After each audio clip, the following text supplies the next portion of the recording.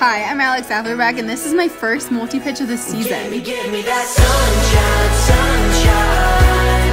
Give me, give me them good times, good times. Nothing, nothing but good vibes, good vibes.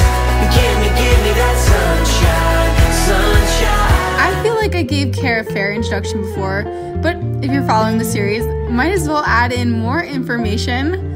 I rely on his impressive navigation and outdoor skills as he takes me on adventures. This time, he took me down an actual path to the slips that doesn't result in toppling down the loose rock or getting my feet wet, which was a happy change from the last time Elle and I came. I absolutely did not fall in the water and bruise my knee on the way out. As we set up, I played around fun camera angles and making faces at the camera because it's already weird enough that I film myself climbing. Carrick is leading Entre Nous. It's a 5'8 found on the east face of the Salt Lake Slips in Big Cottonwood Canyon in the Wasatch Range of Utah. I'll link the mountain project in the description below. When Carrick got to the top, he top rope belayed me because we're tackling my first multi pitch of the season. After some research on Mountain Project, I came to the conclusion that the second pitch was that of the Italian Arte. I probably butchered that name. Uh, and during the second pitch, there are two bolts on the way up. I led the first two bolts, but felt uncomfortable climbing the last stretch because there were no more bolts and it was pretty far to the anchors.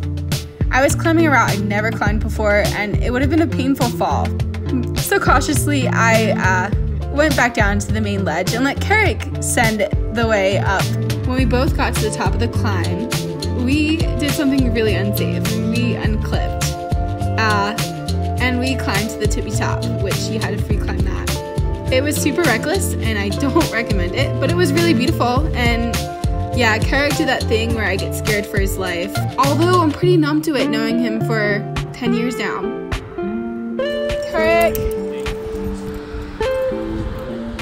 It's not safe! Don't try that at home.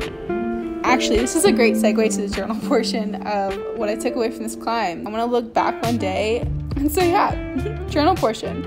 I've always surrounded myself with people who push the limit, who are venturers, who are out of the box doers.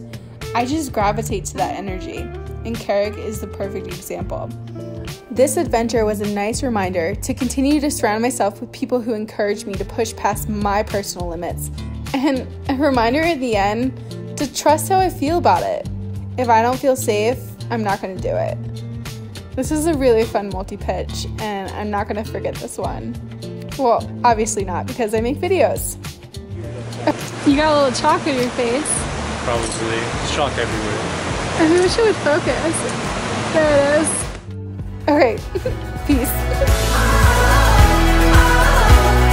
Bring on the summertime. Bring on the summertime.